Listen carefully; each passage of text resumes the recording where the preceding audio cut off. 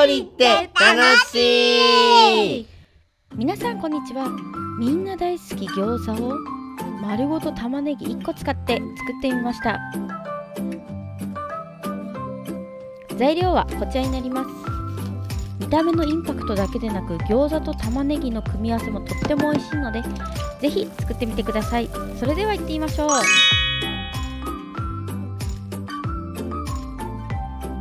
まず玉ねぎのヘタを切って土台になる底を作っていきます。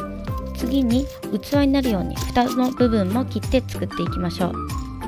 このようになったら大丈夫です。スプーンで中身をくり抜いていきます。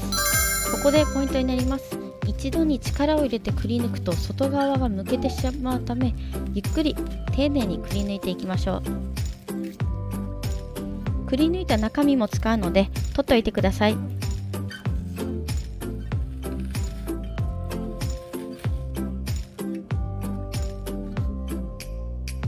これで玉ねぎの器ができました。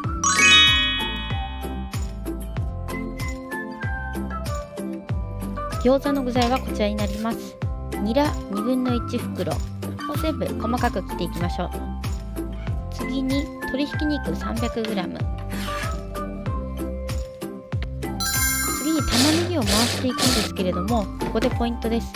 フードプロセッサーで回しすぎると水っぽくなってしまうので刻みに回していきましょう。くり抜いた玉ねぎは全部回して入れてください。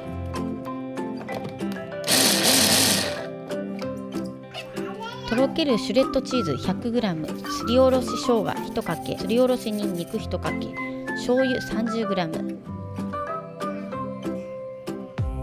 ごま油 15g 酒 15g 塩少々。加えて混ぜていきます。ここでポイントになります。餃子のあんに水分をしっかり閉じ込めるため粘りが出るまでしっかり混ぜましょ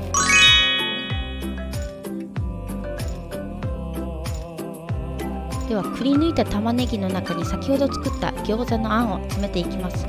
指で少しずつ押しながら中の空気を抜いてこんもり持っていきましょう。このようになったら OK です。残りも全部包めていきましょう。これで準備は終わりました。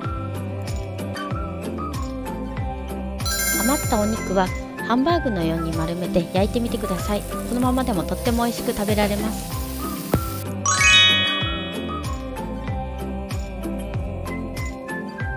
お皿にできた玉ねぎ餃子を置いて玉ねぎの蓋を乗せたらラップをして600ワットのレンジで4分40秒加熱します。できたらラップを取って火が入ってるか確認して入っていれば完成です。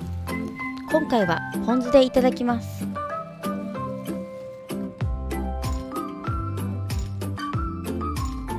食べるときは玉ねぎの皮をゆっくり剥いでナイフで切ってポン酢をかけていただきます。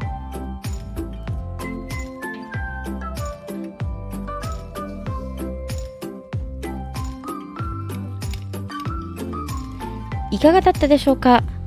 玉ねぎを丸ごと使ったことでいつもの餃子に甘さが加わりたっぷりの肉汁を玉ねぎが吸ってうまみの強い一皿になっているので是非作ってみてください。それではまた次の動画でお会いしましょう